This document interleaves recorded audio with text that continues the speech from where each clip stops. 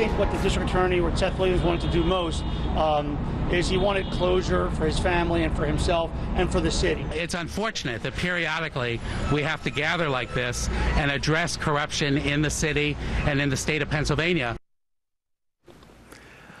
Disgraced Philadelphia District Attorney Seth Williams, the first African American ever to hold that job, is literally behind bars right now after pleading guilty to a single count of accepting a bribe from a businessman.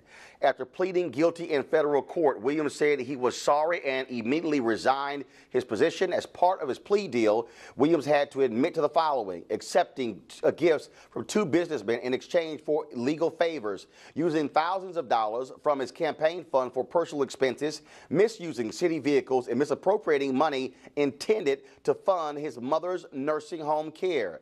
The judge then said he did not trust Williams to appear in court for sentencing in October after what he heard during this trial. So he immediately ordered him to jail. Folks, this is extremely rare in federal cases where uh, other elected officials who have actually been involved in corruption were allowed to uh, report later and be sentenced, spending the last uh, few months with their family. Not this, not this particular uh, gentleman. Gentleman now is Vincent Thompson, political correspondent for WURD 900 AM radio in Philadelphia. He's covered this case from the beginning. Uh, Vincent, it was stunning for so many people. The first black DA in Philadelphia. So much hope folks had there. Now he here he is going to prison. Says a lot where the judge said you can't go home. You go to jail now. Roland, we had had a trial for about seven days. And then all of a sudden, you come into court yesterday, and the uh, district attorney, who had been saying he was innocent all along, would fight the charges, admitted to a plea deal. Uh, what happened was yesterday, right after court, apparently Mr. Williams and his attorney started to talk, and it was then that Mr. Williams said, "You know what? I'm going to take this plea deal if it's still on the table."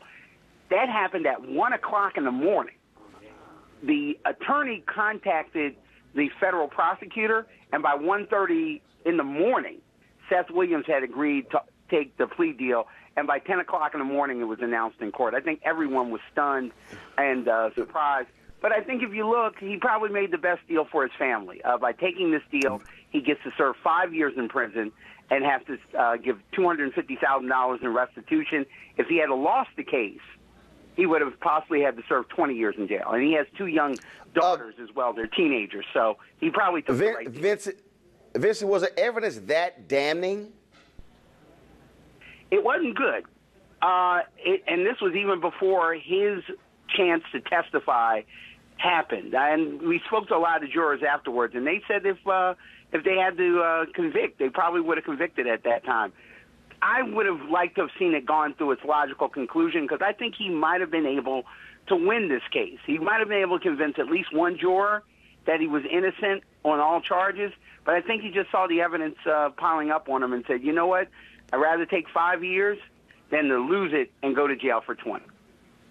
And of course, a lot of black folks in Philadelphia uh, stunned by this. There was so much promise and hope for the first black DA. Now that's out the window. Uh, and of course, you had a white progressive who won the Democratic nomination, uh, who will like, who will of course, you know, literally win in November. And that's true. Uh, right now, uh, Seth Williams did not run for reelection. Um, a white progressive. His name is Larry Krasner, uh, won the Democratic nomination. He is facing Beth Grossman, a Republican in the November election. But it brings up an interesting thing, Roland. Uh, now that Seth Williams has resigned, now our board of judges get to pick his successor to serve in the interim. So the question is, will it be the current uh, first assistant district attorney, Kathleen Martin, who they'll keep in office? Could it be another person? Or in a city like Philadelphia, it wouldn't surprise me if one of the candidates that are running nominates themselves to serve.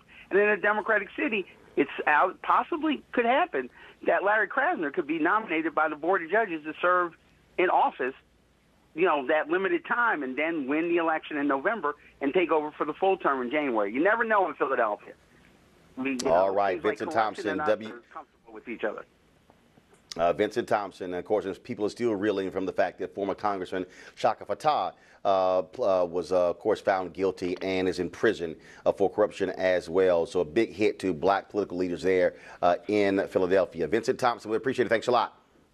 Thank you, Roland. Weekdays on TV One. I will never lie to you. Oh my God. Roland Martin. He doesn't want to talk to us. He wants to ignore us. Uncensored. Hell no. That ain't gonna cut it, boo. Unapologetic. No, no, that, that is fundamentally false. You are wrong. Unfiltered. He Unfiltered. wants an America where we all look alike. He ain't talking about black people. Unrelenting. You better go work out, because you got a fight on your hands. News One Now with Roland Martin. Weekdays at 7 a.m. on TV One.